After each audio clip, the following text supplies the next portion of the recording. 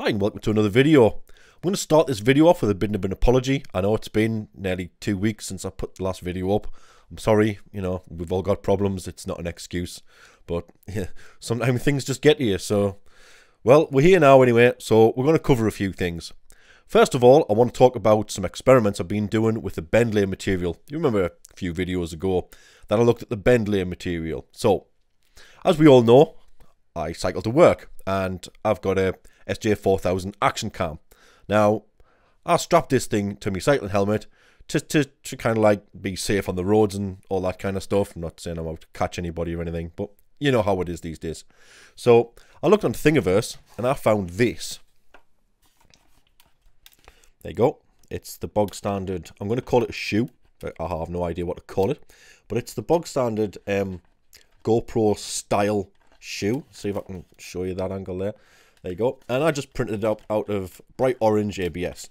Now this particular one, I'll put the link in the description if you want to find it, has um, it had some slots in it, but uh, I drilled them out to holes so that I could put some cable ties through, and and that's it. It, it fits on your helmet. It's really rigid. It's nice and solid, and and that's pretty cool. And the main part of that is this, which you can see. I'll turn it around so you can see probably better. There you go. I've made it out with a Bendlay material and it, these arms are really bendy. It's really cool. Now, I did try and make one of these things out of ABS. It was the orange ABS, actually. Yeah, th this arm's kind of custom made as well. That was just to uh, alleviate three carbuncled mounts on there. You know, it looks a bit better like that, but who cares? Anyway, yeah, I made one of these out of ABS to see if it would actually be any good. And the answer was, when you squeeze it, like kind of in here, in there, that bit there, the, the plastic goes white and then kind of like brittleizes and then just breaks off. But this Bendlay stuff, I mean, this has been kind of squeezed in about about thousand times, fifteen hundred times or so, and it's absolutely fine. And if you look at the fit, I can't even pick it up. If you look at the fit, that was good. Right, let's see if I can. Uh, right, can you see this? And with a bit of luck, you'll be able to see this. There you go. And as you can see, fits in quite nicely. Now, the only problem I have discovered with this is there's a bit of play in it. So I may have to kind of take these Thingiverse files and rework them, whether I want to put a shim in the bottom or make it thicker or something. I haven't quite decided yet. But I will, whoops, I will publish the the, uh, the finished files to Thingiverse as a remix of the original files. Um, when I discover and remember where they were from. But like I said at the minute, it's all a work in progress. I want to get a good few hundred mile on the bike first before I kind of go publishing this thing and saying, yeah, use this to fix your camera to your helmet just in case it smashes after 50 mile or something. But uh, that that's what I've been up to, which is uh, it's it's okay. It, it's not bad. It's it's not great, but it's not bad. Um, next, I want to talk about um, yes, the YouTube comments. I had a comment from uh, a YouTube user called 3D Workshop. Now, this guy has obviously, you know, he's got the same mindset as me. He wants to push technology hard. And the comment said that he had successfully printed the ABS carbon fiber fill material with a stock DaVinci 1.0 stock hot end and everything. And I think that's fantastic. You know, that that's brilliant that other people out there are willing to kind of like push the boundaries and see what this thing can do. And the fact that you can put carbon fiber through that thing, well, it's not really carbon fiber, but you know what I mean. It's the carbon fill stuff. I think it's great. I think it's absolutely great. So thanks for them comments, you know, and thanks for letting us know that you're out there and you're experimenting with this stuff. I think it's absolutely brilliant. Thought I was the only kind of experimenter, but obviously I'm not. there's there's obviously hundreds of us. And um, that brings me swiftly on to another YouTube user. Uh, I was contacted a couple of weeks ago by YouTube user. I apologize if I get this wrong, but it's Saunt Sauntson or S Auntson or something like that. Uh, sorry, Stuart. The, the, guy's called Stuart. He's from Cambridge, England, and um, he contacted me and he let me know that he had successfully followed all seven phases of the E3D V6 upgrade to the DaVinci 1.0, but he'd gone one step further and he'd actually reconfigured Repetier Host to use the original 5 volt coolant fan for the hot end as a filament coolant fan and he printed out a part from Thingiverse which allows you to direct air right at the end of the hot end so you can print PLA and stuff with this. And one of the best things is he's managed to print NinjaFlex with it. So where I failed with the stock extruder, he's absolutely just surpassed it. Um, I'll put some pictures in so you can see what his printer looks like. Um, he's fashioned a, a bracket to hold the filament detection board on, which you know that that's much better than my yeah just tie wrap it to the top idea. Yeah, make a bracket and screw it in place. That's a brilliant idea. Um, and that allows you to use the 5 volt port with Repetier host to power that fan as a filament cooling fan. That's fantastic. That's brilliant. So I've got some footage that uh, Stuart sent us. So without further ado, over to Stuart.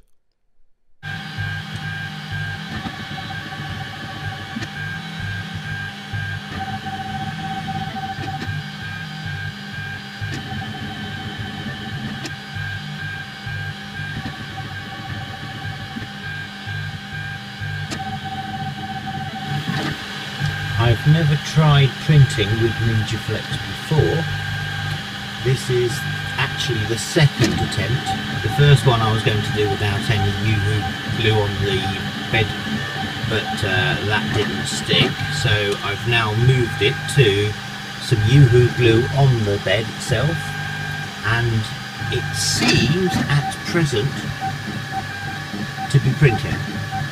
But we will continue it on and we'll see where we get to.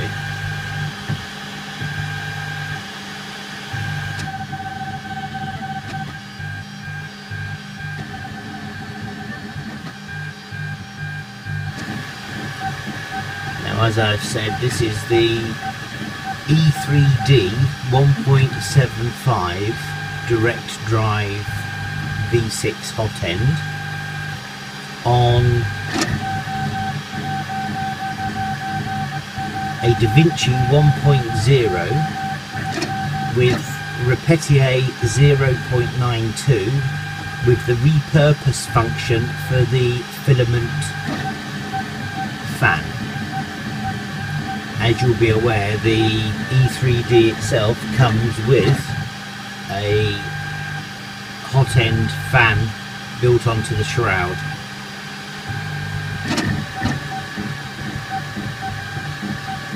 But I've never tried printing NinjaFlex. This is the first time, in fact the only thing I've printed on this printer so far is in fact ABS.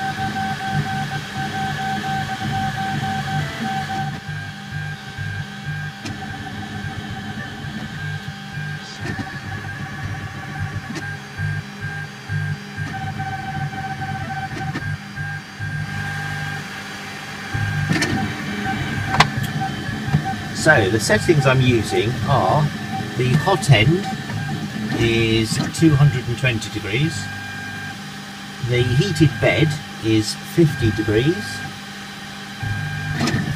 the print speed is around 30 millimeters per second, and as I've said before, this is NinjaFlex 1.75.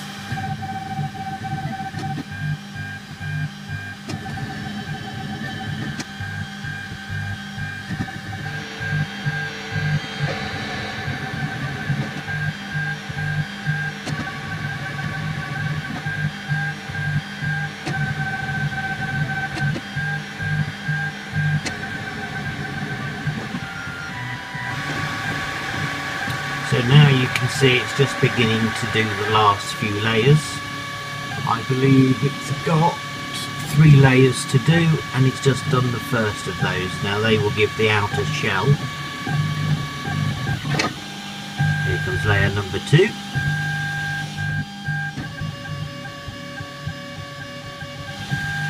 And finally